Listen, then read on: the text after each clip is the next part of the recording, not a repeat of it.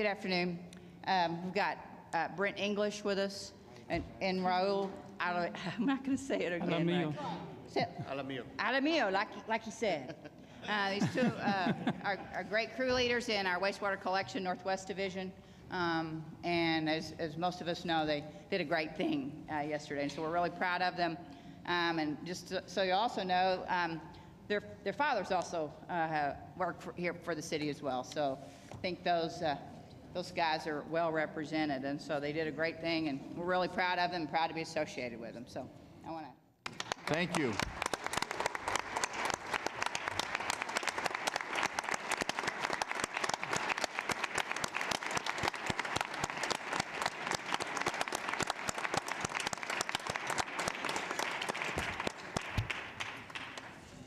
These, uh, these gentlemen uh, jumped in in a situation where there was a pickup truck uh, that had uh, an individual who was, it wasn't clear whether or not they were unconscious or not, but they were not, uh, not moving initially. They went and broke in to the, uh, uh, to the vehicle uh, at a risk of their life, went in to see about saving somebody else's, and we're really just so grateful for your not only uh, good work, but courage in making that happen. Thank you.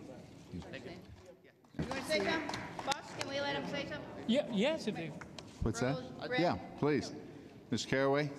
Uh, you're up. thank you. Thank You're you up. for uh, recognizing of us. Um, hopefully, um, I pray for this coworker of mine, best friend. Hope he's doing good. I'm not sure, but but I hope he's doing good. Uh, It's a pleasure to be here. It's uh, great to uh, s- receive this honor.